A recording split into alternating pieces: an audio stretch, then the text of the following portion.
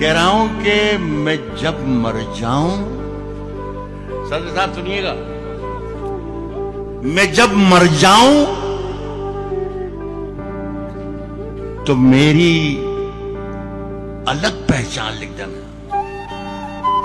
मैं जब मर जाऊँ तो मेरी अलग पहचान अलग पहचान लिख देना।